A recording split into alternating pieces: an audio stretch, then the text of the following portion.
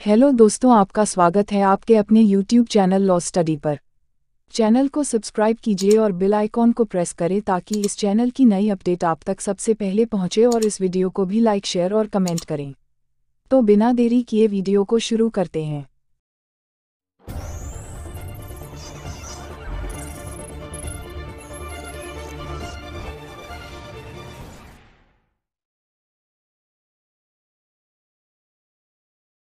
Hello दोस्तों, आज हम इस वीडियो में बात करने जा रहे हैं माध्यस्थम क्या है? यह कितने प्रकार का होता है?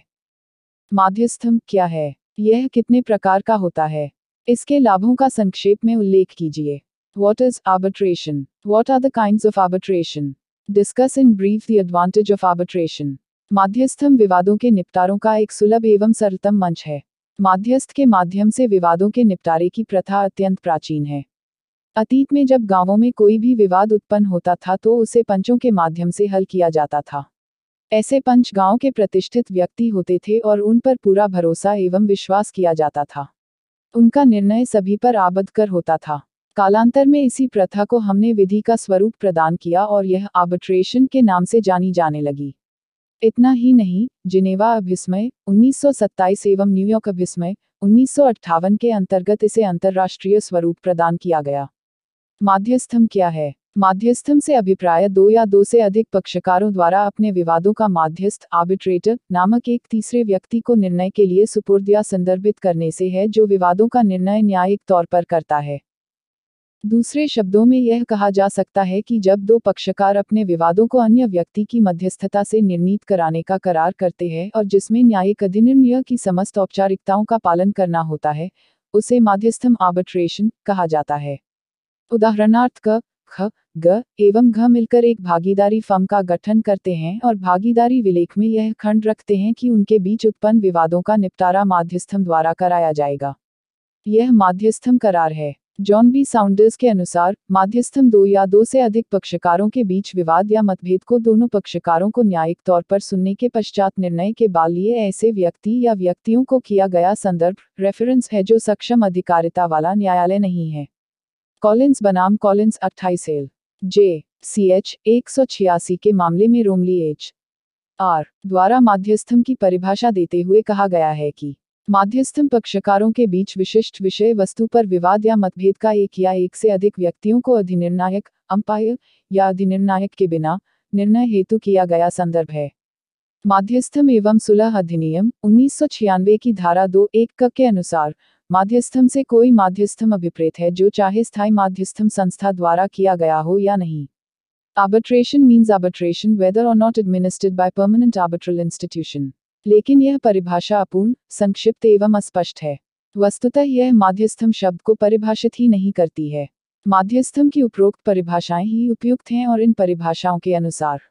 एक माध्यस्थम दो या दो से अधिक व्यक्तियों के बीच विवादों का संदर्भ रेफरेंस है जो निपटान हेतु किया जाता है।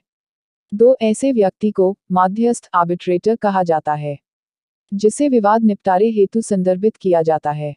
तीन, माध्यस्थ की नियुक्ति पक्षकारों द्वारा करार के माध्यम से की जाती है। चार, वह सक्षम अधिकारिता वाला न्यायालय नहीं होता है। पाँच, वह न्यायालय में संस्थित किया गया वाद भी नहीं है, तथा छह, माध्यस्थ द्वारा विवादों का निपटारा दोनों पक्षकारों को न्यायिक तौर पर सुनने के पश्चात किया जाता है। माध्यस्थम के प्रकार, माध्यस्थम तीन प्रकार के होते हैं। एक व्यक्तिगत अथवा घरेलू पर्सनल और डोमेस्टिक आर्बिट्रेशन दो सांविधिक अर्थात कानूनी स्टैचुटरी आर्बिट्रेशन तथा तीन अंतरराष्ट्रीय इंटरनेशनल आर्बिट्रेशन एक व्यक्तिगत अथवा घरेलू माध्यस्थम. माध्यस्थम का यह सर्वाधिक प्रचलित प्रकार है। इसमें दो या दो से अधिक पक्षकारों द्वारा अपने विवाद या मतभेद को निर्णय हेतु माध्यस्थम अधिकरण आर्बिट्रल ट्राइब्यूनल को संदर्भित किया जाता है। माध्यस्थम एवं सुलह अधिनियम उन्नीस सौ छियानवे में व्यक्तिगत या घरेलू माध्यस्थम की परिभाषा नहीं दी गई है। अधिनियम में अंतर्राष्ट्रीय वाणिज्यिक माध्यस्थम की परिभाषा दी गई है।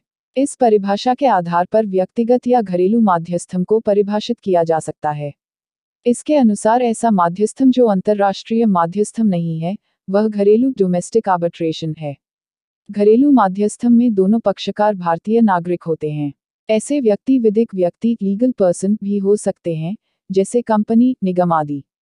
कोल इंडिया लिमिटेड बनाम Canadian Commercial Corporation, A, I, R 2012 Calcutta बानवे के मामले में कलकत्ता उच्च न्यायालय द्वारा यह अभिनिर्धारित किया गया है कि विदेश में दिया गया पंचाट यद्यपि धारा 44 के अंतर्गत विदेशी पंचाट हो सकता है, तथापि वह घरेलू पंचाट भी कहला सकता है, यदि वह ऐसे करार के अंतर्गत दिया गया हो जो भारतीय विधि के अधीन किया गया हो। घरेलू या व्यक्तिगत माध्यस्थमों का सृजन पक्षकारों के करार द्वारा होता है। ऐसे करार का भारतीय विधि तथा लोकनीति के विरुद्ध नहीं होना चाहिए। दो, सांविधिक माध्यस्थम। सामान्यतः माध्यस्थम की प्रक्रिया का निर्धारण पक्षकारों द्वारा पारस्परिक सहमति से किया जाता है। जहाँ ऐसी प्रक्रिया निर्धारित होती है, वहाँ उसी के अनुरूप माध्यस्थम कार्यवाहियों का संचालन किया जाता है। लेकिन कभी कभी किसी अधिनियम की परिधि में आने वाले विवादों को माध्यस्थम द्वारा निपटाने के लिए उस अधिनियम में प्रक्रिया का उल्लेख भी कर दिया जाता है और उसी प्रक्रिया के अनुरूप कार्यवाहियों का संचालन करना होता है, जैसे माध्यस्थों की नियुक्ति, माध्यस्थम का स्थान, पंचायत देने की समयावधि, पंचायत का प्रवर्तन, माध्यस्थम कार्यवाहियों पर लागू होने वाली प्रक्रिया माध्यस्थ का शुल्क आदि। ऐसे माध्यस्थम को सांविधिक स्टैचुटरी आर्बिट्रेशन कहा जाता है। सांविधिक माध्यस्थमों में पक्षकारों की सहमति का कोई स्थान नहीं होता। पक्षकार सांविधिक उपबंधों का अनुसरण करने के लिए आबद्ध होते हैं। सामान्यतया सहकारी समितियाँ अधिनियम, कंपनी अधिनियम, विद्युत आपूर्ति अधिनियम आदि में सांविधिक माध्यस्थमों की व्यवस्था होती है। तीन अंतर्राष्ट्रीय माध्यस्थम। अंतर्राष्ट्रीय माध्यस्थम का सृजन बढ़ते हुए अंतर्राष्ट्रीय व्यापार की देन है। संचार माध्यमों में अभिवृद्धि तथा राष्ट्रीय व्यापार नीति में उदारीकरण के समावेश से। अंतर्राष्ट्रीय व्यापार तथा वाणिज्य में आशातीत वृद्धि हुई है। ऐसी स्थिति में अंतर्राष्ट्रीय व्यापार वाणिज्य में विवादों एवं मतभेदों का उत्पन्न होना स्वाभाविक है।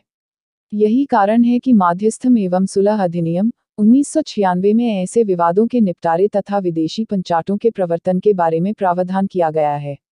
अधिनियम में ऐसे माध्यस्थमों को अंतर्राष्ट्रीय वाणिज्यिक इंटरनेशनल कमर्शियल आर्बिट्रेशन का नाम दिया गया है। अधिनियम की धारा दो, एक चक में अंतर्राष्ट्रीय वाणिज्यिक माध्यस्थम की परिभाषा इस प्रकार दी गई है। अंतर्राष्ट्रीय वाणिज्यिक माध्यस्थम से ऐसे विवादों से संबंधित कोई माध्यस्थम अभिप्रेत है जो ऐसे विधिक संबंधों से उद्भूत हो जो भारत में प्रवृत्त विधि के अधीन वाणिज्यिक समझे गए हो। चाहे ऐसे विधिक संबंध संविदात्मक हो या नहीं तथा माध्यस्थम के पक्षकारों में से कम से कम एक पक्षकार निम्न व्यक्तियों में से कोई एक हो। एक, ऐसा कोई व्यक्ति जो भारत से भिन्न किसी देश का नागरिक है या उसका भारत से भिन्न किसी देश का आभ्यासिक निवासी या। दो, ऐसा कोई निगमित निकाय, जो भारत से भिन्न किसी देश में निगमित है, या। तीन, ऐसी कोई कंपनी, संगम या व्यष्टि निकाय, जिसका केंद्रीय प्रबंध और नियंत्रण भारत से भिन्न किसी देश में किया जाता है, या।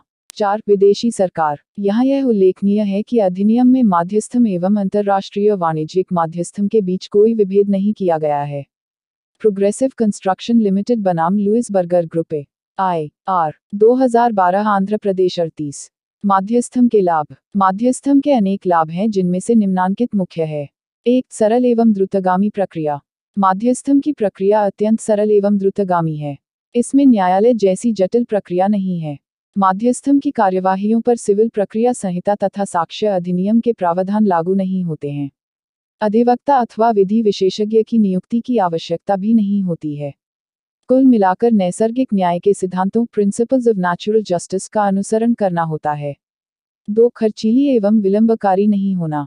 माध्यस्थम की प्रक्रिया न तो व्ययसाध्य है और न ही विलंबकारी न्यायालयों में कार्य की अधिकता के कारण मुकदमों के निपटारे में काफ़ी समय लग जाता है तथा व्यय भी अधिक होता है, जबकि माध्यस्थ के समक्ष एक ही विवाद होने से उसका शीघ्र एवं कम व्यय में निपटारा हो जाता है। माध्यस्थम में सामान्यतः माध्यस्थ को चार माह में और अधिनिर्णायक अंपायर को दो माह में पंचाट अवार्ड देना होता है। तीन पक्षकारों द्वारा माध्यस्थों की नियुक्ति। माध्यस्थम में माध्यस्थों की नियुक्ति पक्षकारों द्वारा की जाती है। माध्यस्थ पक्षकारों के विश्वसनीय व्यक्ति होते हैं, अतः माध्यस्थ द्वारा जो भी निर्णय दिया जाता है, वह उन्हें सहर्ष स्वीकार होता है तथा पक्षपात की आशंका भी नहीं रहती है जबकि न्यायालयों के न्यायाधीश सरकार द्वारा नियुक्त सरकारी सेवक होते हैं, जिनके निर्णय पक्षकारों की इच्छा के विपरीत भी हो सकते हैं। चार, विशेषज्ञ की सेवाएँ। माध्यस्थ की नियुक्ति चूँकि पक्षकारों द्वारा की जाती है, अतः वे विवाद की विषय वस्तु के अनुरूप विशेषज्ञ को माध्यस्थ के रूप में नियुक्त कर सकते हैं। इससे बेहतर न्याय की संभावनाएँ प्रबल हो जाती हैं, जबकि न्यायालय में न्यायाधीशों किसी विषय वस्तु विशेष का विशेषज्ञ होना आवश्यक नहीं है। न्यायालय में विशेषज्ञ मात्र एक साक्षी के रूप में उपस्थित हो सकता है जो पर्याप्त नहीं है। पाँच व्यक्तिशः निरीक्षण। माध्यस्थम का एक लाभ यह भी है कि माध्यस्थ द्वारा स्वयं विवादित स्थल या विषय व वस्तु का निरीक्षण किया जा सकता है, जिससे सही निष्कर्ष पर पहुँचने में काफ़ी मदद मिलती है। जबकि न्यायालयों में यह कार्य सामान्यतः स्वयं न्यायाधीश द्वारा नहीं किया जाकर कमिश्नर द्वारा किया जाता है, जो उतना उपयोगी सिद्ध नहीं होता। छह प्राधिकार का प्रतिसंहरण। माध्यस्थम कार्यवाहियों के दौरान यदि यह प्रतीत होता है कि कोई माध्यस्थ भ्रष्ट आचरण या कदाचार मिसकॉन्डक्ट का दोषी है तो पक्षकार द्वारा उसके प्राधिकार का प्रतिसंहरण किया जा सकता है, जबकि न्यायाधीश के प्राधिकार का इस प्रकार प्रतिसंहरण नहीं किया जा सकता। सात गोपनीयता। माध्यस्थम कार्यवाहियाँ सर्वथा गोपनीय होती है। माध्यस्थ भी ऐसी कार्यवाहियों को सार्वजनिक नहीं कर सकते, जबकि न्यायालय की कार्यवाहियाँ खुले न्यायालय, ओपन कोर्ट में होती है जिससे गोपनीयता नहीं रह पाती। इसी प्रकार आर्बिट्रेशन के और भी अनेक लाभ हैं जिसके कारण दिन प्रतिदिन इसका प्रचलन बढ़ता जा रहा है। वर्तमान समय में माध्यस्थम की व्यवस्था इतनी प्रचलित एवं लोकप्रिय हो गई है कि इसकी व्याख्या कॉमन लॉ से सुसंगतता को ध्यान में रखते हुए किए जाने की अपेक्षा की गई है। A. Ayyaswamy बनामे, Paramasivam, A. I. R. 2016 S. C. 4675 तो दोस्तों, इस वीडियो को अंत तक देखने के लिए धन्यवाद। वीडियो को लाइक, शेयर और कमेंट करें। साथ ही चैनल को सब्सक्राइब करें और बेल आइकॉन को दबाना ना भूलें ताकि इस चैनल की सभी अपडेट आप तक सबसे पहले पहुँचे। Laws study.